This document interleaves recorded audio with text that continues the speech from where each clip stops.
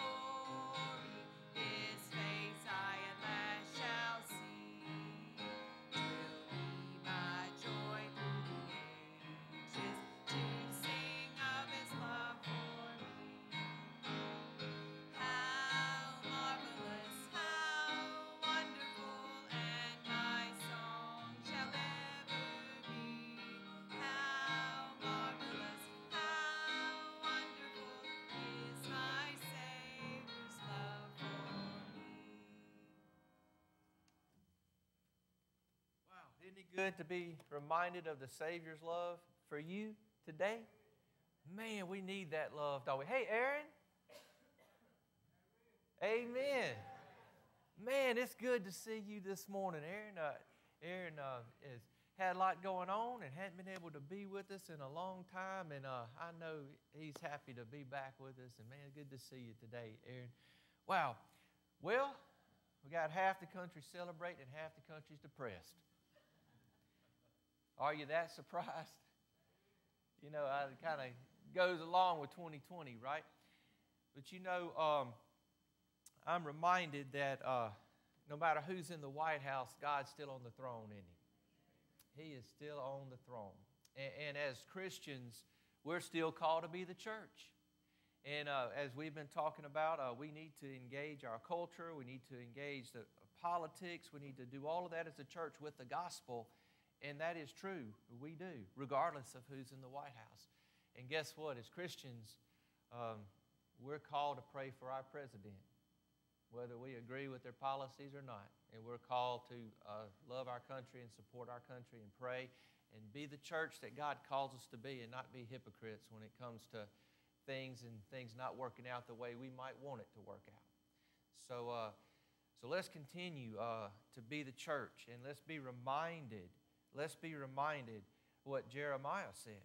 You know, God's people had a lot of folks that ruled over them that they didn't agree with and wasn't godly at times. But yet, the prophets and many of the godly people continued uh, to pursue God through the midst of it all, trusting that God had a plan. And this is what Jeremiah said. And this, this uh, speaks to my heart a lot today. For I know the plans I have for you that's great, isn't it? God still has plans for us. He says, I know the plans I have for you plans to prosper you as my people, not to harm you, plans to give you a hope and a future. That's God's plan for the church. He has a hope, He has a future to prosper us, right, as His people. But look at what it says. Then you will call on me and come and pray to me, and I will listen to you. You will seek me and find me when you seek me with all your heart. I will be found by you. Man, my brother Tim, me and him in talking, he texts me, uh, he texts me a, a statement of faith uh, by Dr. Adrian Rogers and, uh, and it kind of stuck with me. I can't remember the exact words, so I'm going to ask him to share that with us this morning because I know, I know he, I know he never forgets. So he, he knows. Isn't that good? Faith is not as much about getting what you want as it is about being all right with what God gives, right? And our faith is in God's Word, and our faith is that He's still on the throne. Amen. Let's pray together. Lord, thank you so much that we could come here today, gather as a church, Lord, and look to you as our hope and as our future. Lord, I pray that in the midst of all of this chaos, craziness, in the midst of division within our country, Lord, that our church and churches all across our country, Lord, would be revived and would rise up and be that unifying force and that voice, Lord, of truth and that example, Lord, of righteousness and love, Lord, and unity within our country. Lord, I pray, I pray, God, that the church would be, Lord, that key piece of bringing our country back together through the power of the gospel. Lord, help us to do that, Lord, in our own community and communities all over uh, our great land. And Lord, we do pray. We do pray, Lord, for our president, for all of our leadership. God, we, we pray, God, for righteousness and for justice and for truth. And we pray, God, for you to change hearts at every level of leadership throughout our country, God. And I pray, Lord, that, um, that you, Lord, would see fit, God, to be gracious to us, to fill us with your Spirit, and to help us realize, first and foremost, we're citizens of the kingdom of God, and that we are to focus, Lord, on living for Christ and being who Christ calls us to be every single day, Lord, because ultimately, our hope doesn't rest, Lord, in our political system. It rests in, in you as our living Lord and Savior. Ultimately, Lord, our hope doesn't rest in who's in the White House, but Lord, who's on the throne of heaven. And Lord, we praise you, Lord, that you are on the throne, that you are laying out your plan and your purpose, Lord, for this world. You are bringing this world to an end according, Lord, uh, to your will and purpose. Help us, God, to be focused on that as a church and living for Jesus every single day, doing what you call us to do so that the light of Christ can shine through our lives, Lord, and make a difference, Lord, around us. And it's in Jesus' name we pray. Amen. Now, if you would join me in singing 605, Living for Jesus. We'll sing the first and last.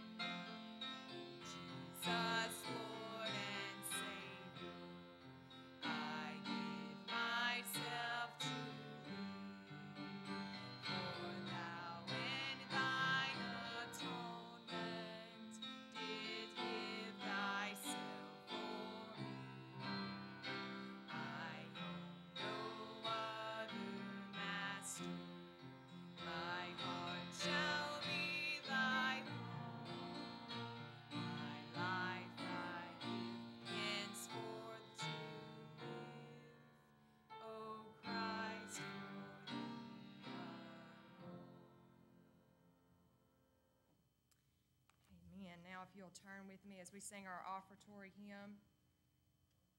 And then after our offering, if Justin, you'll come and bring our special music. Um, and we can face anything because of because he lives, right? 358. Let's sing the first and third.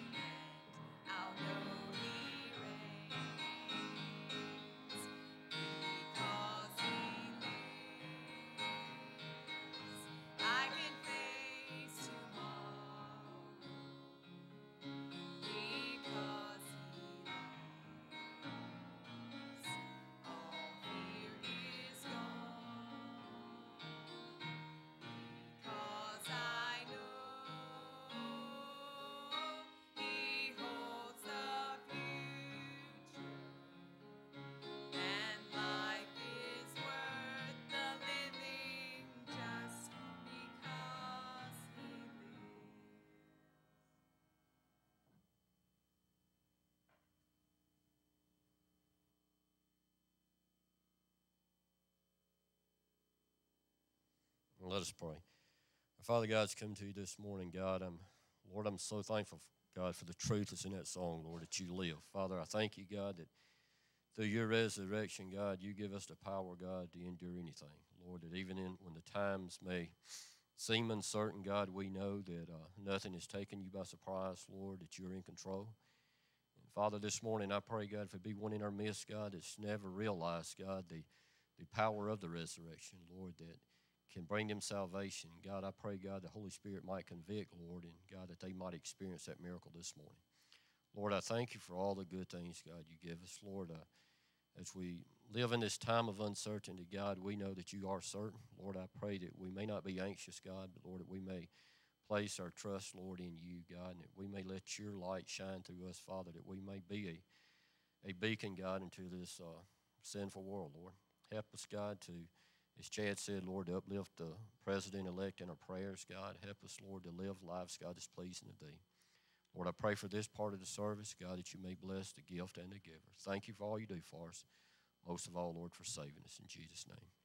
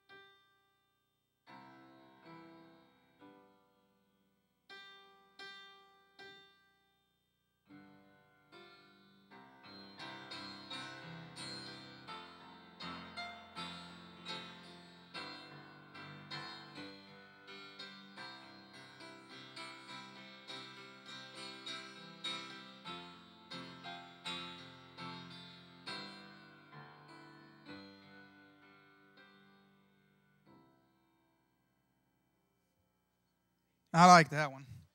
It is well with my soul. Give her a hand. You know, like we've been talking with uh, with all the uncertainty, everything, but that song is just if it's well with your soul, that's all that really matters.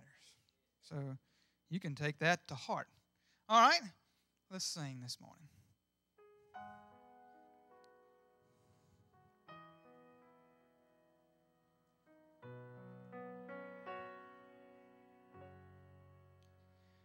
There's a peace I've come to know. Though my heart and flesh it may fail, and there's an anchor for my soul. You know I can say, and I can say, it is well. Jesus has overcome and the grave is overwhelmed. The victory, it is won, and He has risen from the dead, and I will rise when He calls my name. No more sorrow, no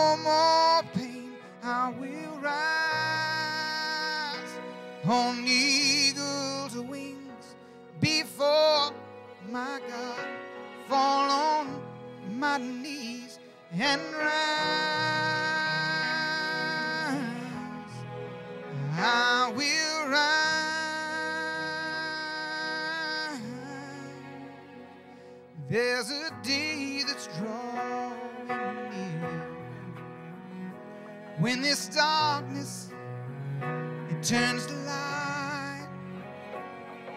shadows disappear. And my faith will be my eyes. Jesus has overcome. And the grave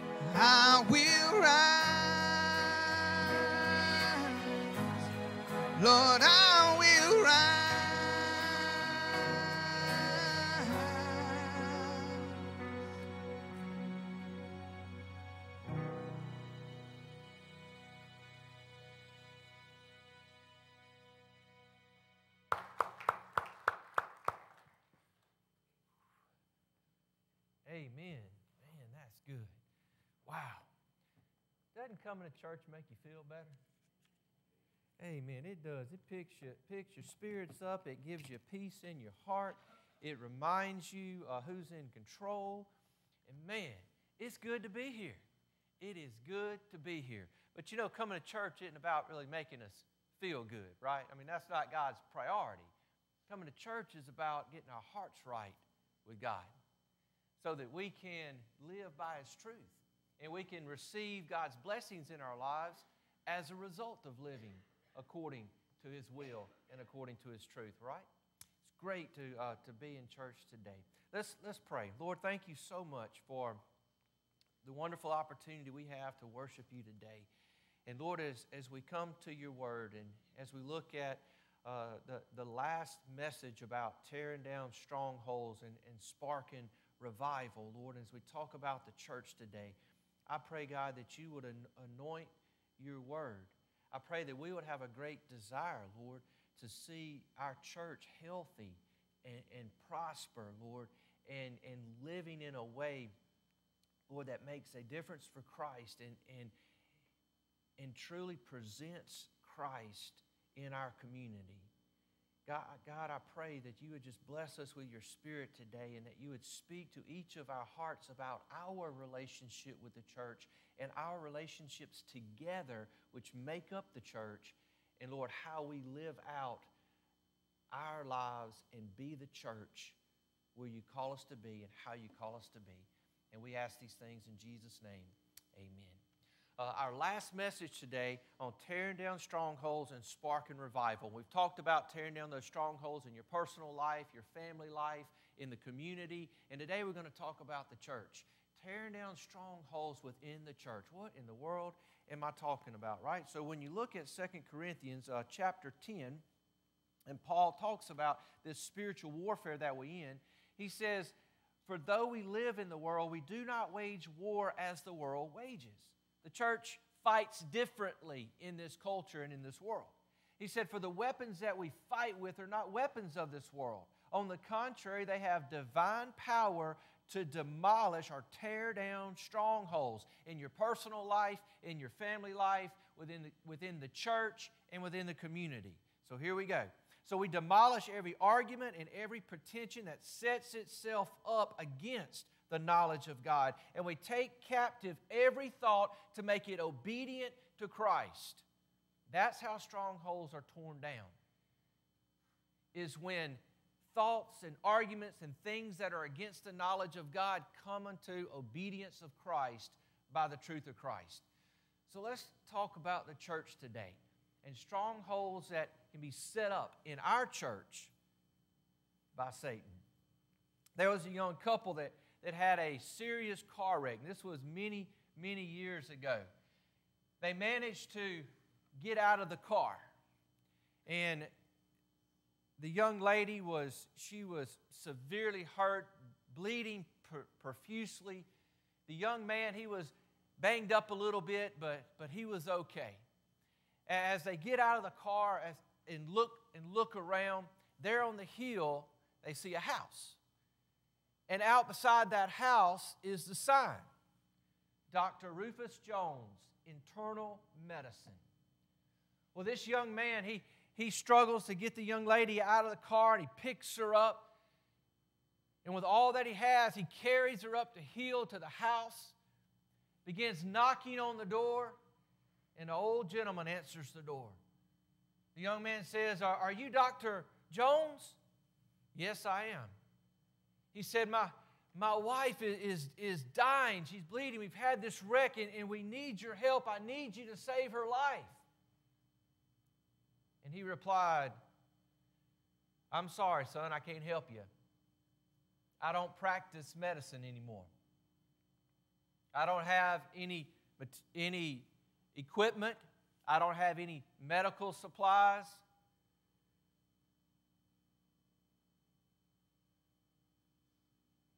And then he says, the young man says, Well, the sign, the sign out in front of your house, it says that you're a doctor.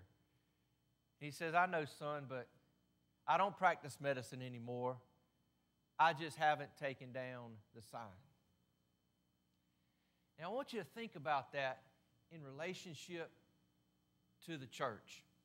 As the church, we have a world that's bleeding and dying. And we say, Come to church, get involved in church. In church, you'll find the healing that you need. But yet, there are many churches that have the sign out front, but they no longer practice the gospel. They no longer practice the gospel.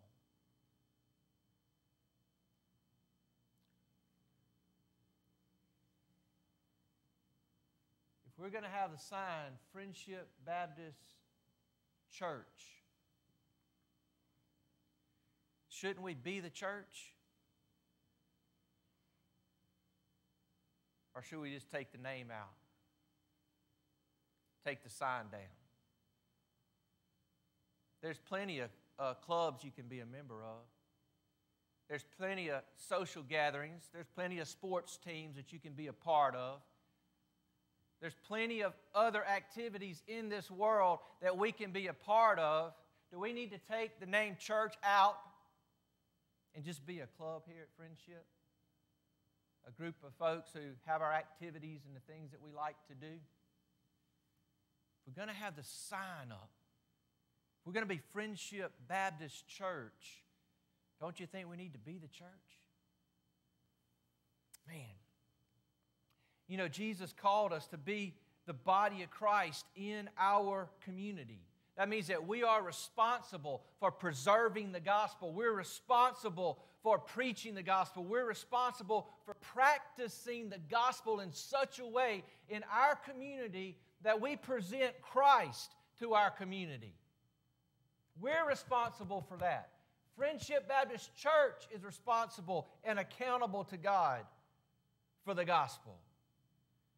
You know, isn't it something, and, you might have had this experience in your life as well, to drive through a, a, a part of a city or a community, and, and, you can tell that that city is, is uh, community is run down. You can tell that they're struggling, whether it's with drugs in the community or whatever that it might be. It's a struggling community, and yet you see a church on the corner here, a church on the corner there. They're old, they're fading.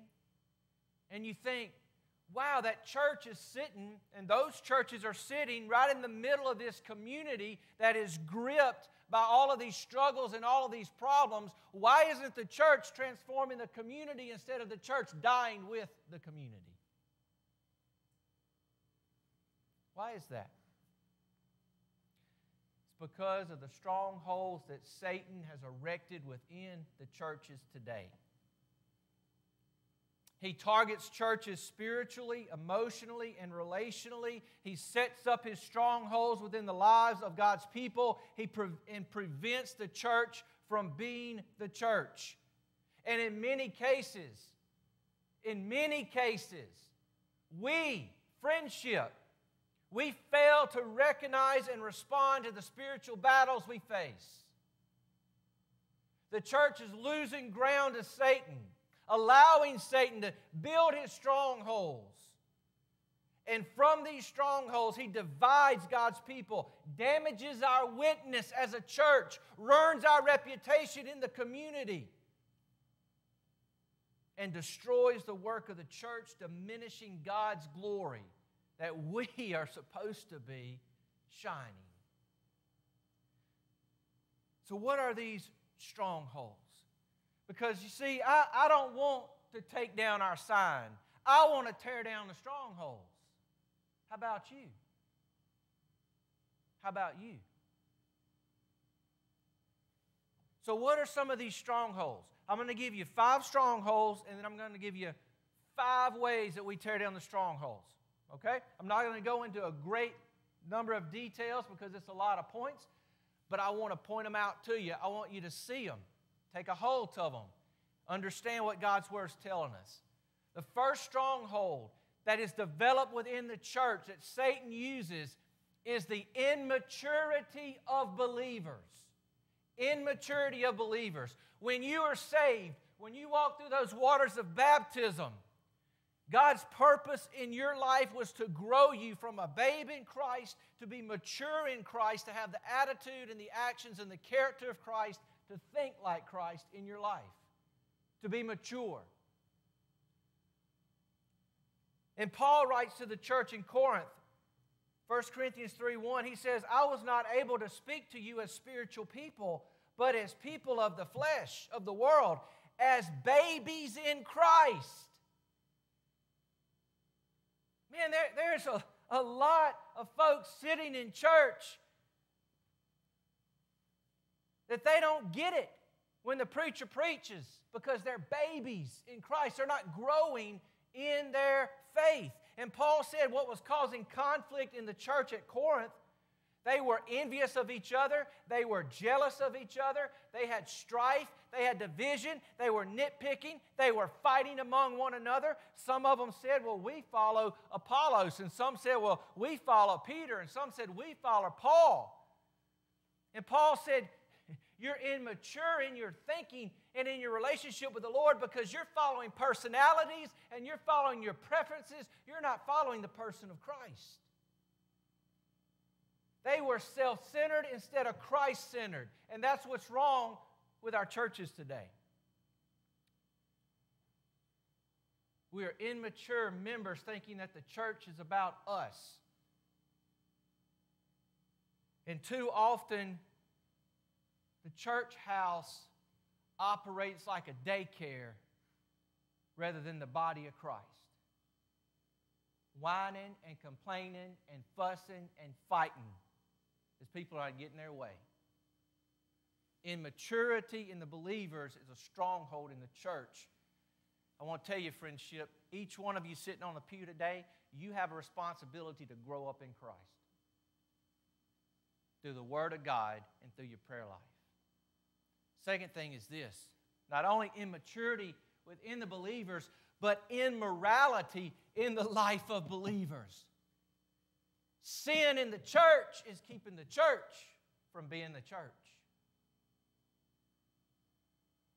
1 Corinthians chapter 5, Paul, Paul moves from addressing immaturity in the lives of the believers to immorality. And he says, It is actually reported that there is sexual immorality among you.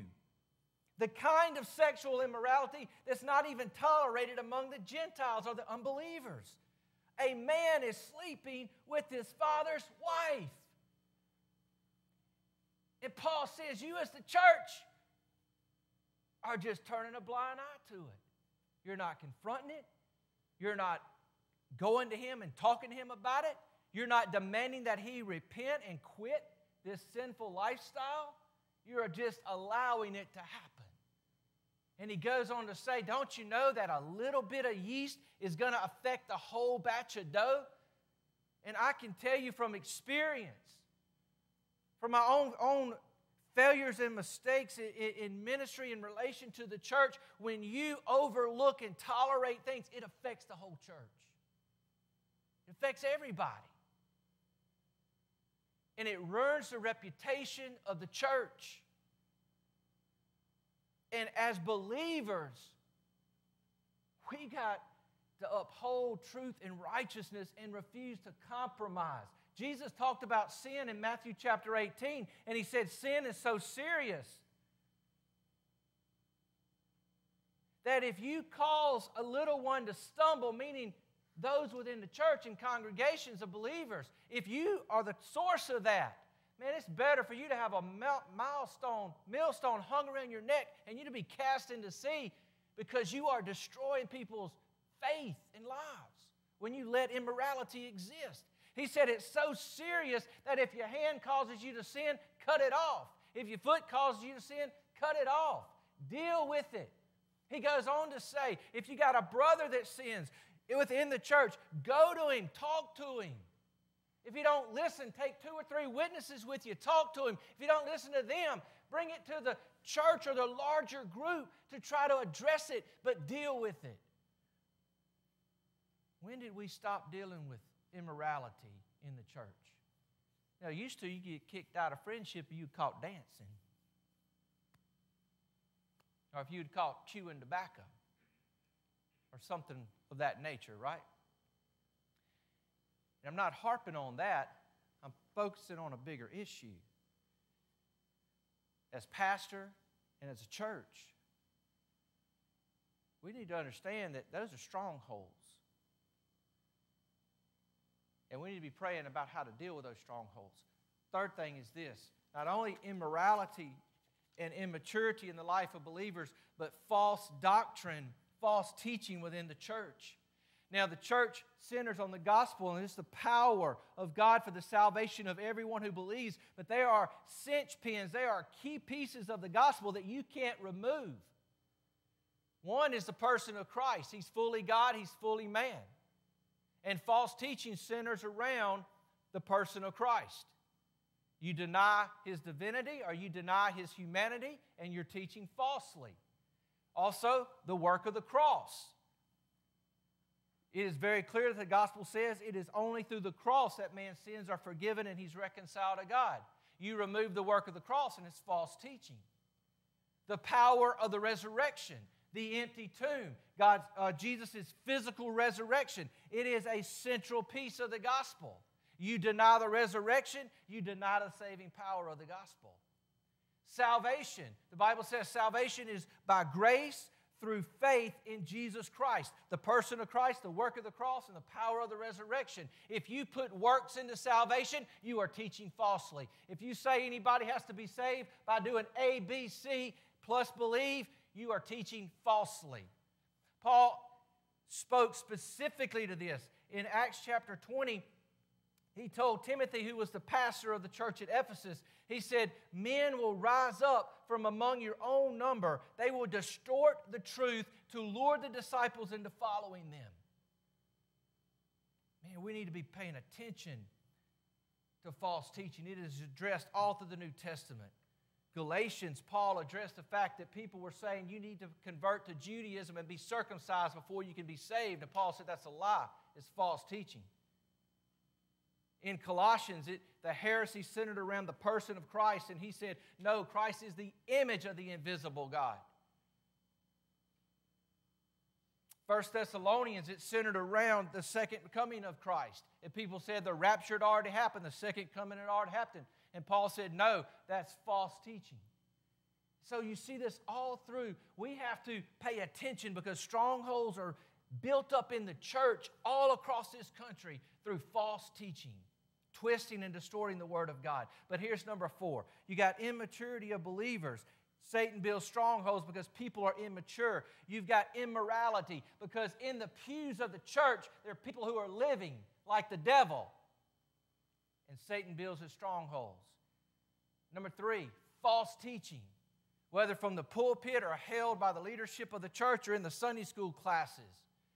Strongholds. Number four, and here's very important it is the unforgiving hearts of God's people.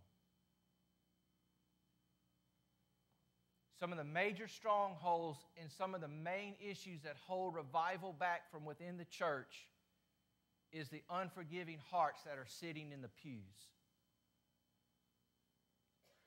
Satan develops strongholds around people's bitterness, around their resentment, what they don't like about other people within the church, what somebody has said to them that has offended them, what somebody has done to, quote, offend them. You've heard the statement Christians aren't perfect, they're just forgiven, right? Some people like to use that flippantly, but it's true. Forgiving is the key, and the parable of the unforgiving servant is so important. Matthew chapter 18 it's in that same chapter where Jesus is talking about sin, where he's talking about church discipline and reconciliation. And Peter comes up and he asks, Lord, how many times should I forgive my brother? Seven times seven? Or seven times, he said? Now, what Peter said, uh, the rabbis taught in that day that you were to forgive a person three times if they offended you. Three times. That's what they taught. That was your limit. After the third time, you didn't have to forgive them anymore. That's a pretty human thing, right? So Peter knows Jesus, so he doubles it and adds one. Seven times, Lord? Jesus says, No, no, no, you're not getting it. 70 times 7. Forgiveness is not just a choice, an act you make. Forgiveness is an attitude that you have toward your brother and sister in Christ. He goes on to tell the story of the unforgiven servant. You remember that story? The servant who couldn't pay his debt to the master, and the debt forget, and the, and the master forgave his whole debt, and then he turns around to a fellow servant who owed him just a fraction of what he had owed the master, and he demanded to be paid, and he had his fellow servant thrown into prison until he would pay back his debt. And then when the other servants heard this, they went to the master. It infuriated the master. And he had this unforgiving servant thrown into prison. And he said, You're not getting out until you pay your debt off. The important part of that parable is this the man couldn't pay the debt off, he was never getting out of prison. The only way out was forgiveness. The only way out of many of your prisons and many of the strongholds within the church is the act of forgiveness. And Jesus says something stunning in that parable. Jesus said, You see this unforgiving servant that refused to forgive his fellow servant? He said, God will treat you the same way if you fail to forgive your brother and your sister from the heart. You're going to be locked up in bitterness and resentment, and the strongholds of Satan will be bound in the church through unforgiving hearts of God's people. Let me ask you this who do you need to forgive in friendship? Who, who do you need to forgive? That person that comes up when you're having those conversations in the church and, and you run them down, well, they do this and they maybe do this, that in the church. Well, I can't believe the way so and so, they want to control everything and they want to do this and they want to do that. That person that you run down within the church, that's the person you need to be forgiven. And if you're not, Satan's developing a stronghold in our church and holding our church back. Unforgiving hearts, Satan's stronghold. Don't be a stronghold for Satan at Friendship Baptist Church. Forgive who you need to forgive.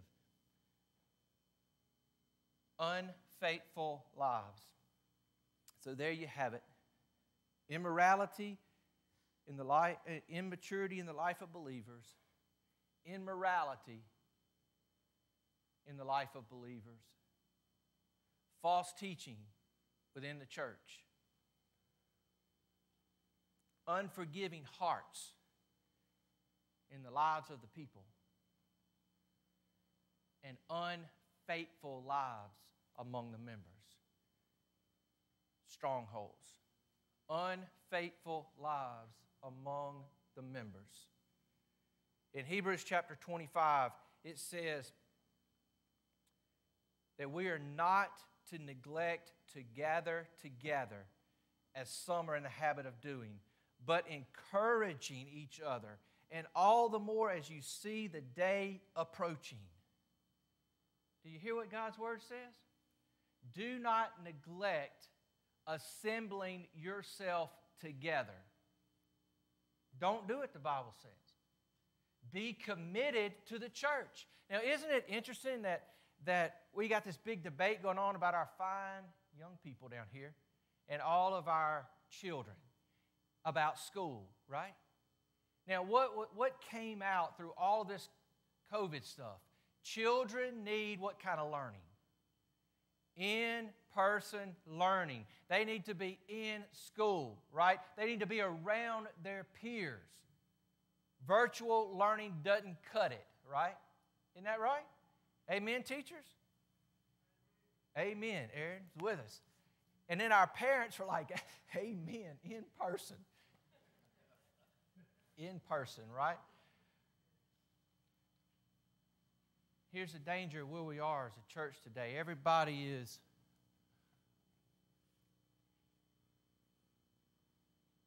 wanting to pick everything they get up on social media here and there. You cannot substitute. If science tells us that in person learning is the most valuable thing for our kids, it goes for the church as well. That's what the Bible's talking about. Don't neglect assembling yourselves together. There's a no substitute for coming together as God's people in person, if possible. There's no substitute. There's no substitute for that Sunday school class praying together. There's no substitute for those deacons praying together and coming together, studying God's Word together. There's no substitute for that. However, the unfaithfulness in the lives of Christians is a stronghold and it's making the church ineffective in the community. A lack of commitment is the major stronghold in our churches today. People are committed to do what's important to them. You're going to go to work because that's how you pay your bills, right? And a lot of us drag ourselves to work half dead because we got to work. We got to pay the bills. Right? We will wear ourselves out from one ball game to another ball game no matter how bad COVID is. We're going to show up and play games, ain't we? We're going to do it. Because it's important. School, hobbies, all of these things we are committed to.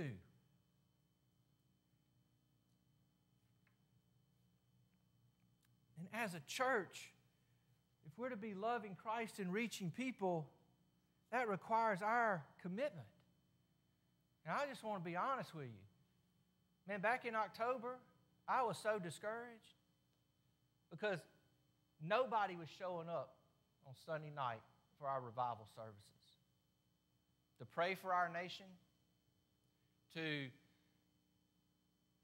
listen to, to important issues, to listen to testimonies about what God is, doing.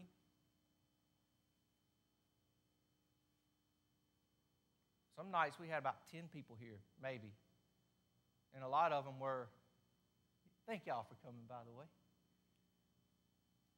the young folks showed up and led the way. They represented, in their number, more than anybody else within the church. I thought, well, maybe the parking lot's full on Sunday night. Maybe people just a little leery coming into the church. Well, no. One or two cars out there. We're still struggling with, with Sunday school and all those issues because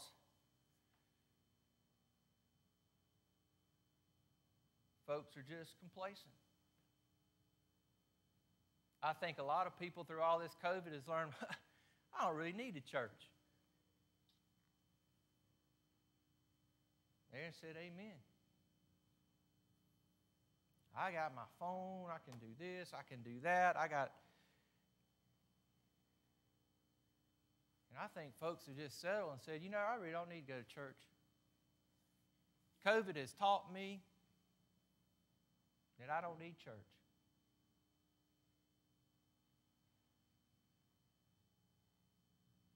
And I want to tell you, that's a lie. An uncommitment in the life of Christians is a stronghold in the church and it is going to make our church ineffective in our community. So let's close with this. How about we do the next half of the message next Sunday? You be okay with that? Or you want to give me to 12? We'll close the first half of this message here. We'll pick up the next, next Sunday on the five things that we need to do to tear down these strongholds. But I want you to think about it in these terms.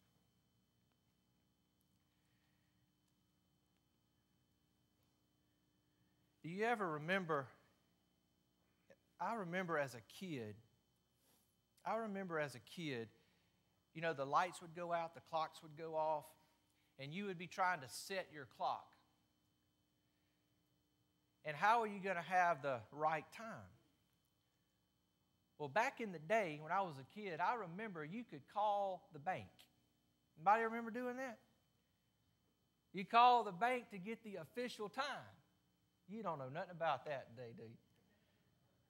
That was back when uh, they had those party lines, you know, when you talk to somebody and somebody else start talking that you didn't know, you, t- you know, and everybody else can hear your conversations and all that fun stuff. Boy, y'all missed out on some good stuff back in those days, I'm telling you. But you'd pick up and you'd call. Nowadays, how many of you, when, when time changed here a little while back, like was that last Sunday? Well, it feels like forever ago, don't it? You know, I never even looked at it because it rolled over on my phone automatically. Two o'clock rolled up, rolled back, right? Where it's supposed to, because my phone is connected to the source, whatever that it is, that has the right time. Right? Because of that connection, it's automatically set. Now, listen to me as we close this up. In Colossians chapter 1, verse 18, it says that Jesus Christ is the head of the body, the church. He is the beginning, He is the firstborn among the dead, that He might come to have, listen to this, first place in everything. Colossians 1:18. In other words, Christ is the one that you are to be setting your life by. You are to be setting yourself straight, knowing how to live, knowing what to do according to Christ, who is the head of the church. Every one of us should be setting our life according to Christ. And if the strongholds in Friendship Baptist Church through immaturity, immorality, false teaching, through unforgiving hearts and unfaithful lives, if those strongholds are going to come down, the people in the pew are going to have to set their hearts right with the Lord. That's what revival is all about. That's what revival is all about. When we set our hearts right with the Lord, we can engage the strongholds, and the strongholds will come down, and we will be the church. We won't just have a sign up, we'll be the church. People will come to our church and meet Christ and experience freedom and healing and the love of the gospel because we're being the church. That's what I desire. That's what I pray for. That's what I want. So, what needs to be set right in, in your life so that you will be committed to the strongholds falling, whatever they may be in our church, and we can be the church that God calls us to? You know, in Revelations, there was a church. We'll talk more about this church next Sunday. It's a church called Laodicea. It was a group of wealthy Christians in a wealthy city. They were so wealthy that they were comfortable, they were complacent. But the problem was they didn't have a fellowship with the Lord. They were too focused on their own prosperity, they were too focused on their own pleasure, that they were missing out on the presence and the power of God in their lives and within the church. We'll talk more about it next week, but you know what the Lord told them? He said, I stand at the door and knock. He said, You've shut me out. Your pursuit for prosperity, your pursuit for pleasure, and you're going through the motions of religion, you have shut me out. You are spiritually bankrupt. He said, I stand at the door and knock. And if you will open that door, I will come in and I'll fellowship with you. I will renew my relationship with you, bring my presence and my power back into your life in ways that really matters. So if the Lord's knocking on the door of your heart today, opening that door is the key to tearing down strongholds in our church. It is the key. But it starts with you and I being convicted by the Lord and actually caring about our church. You know, I, I'm afraid we've got to a point where very few people actually care about the church. actually care about it.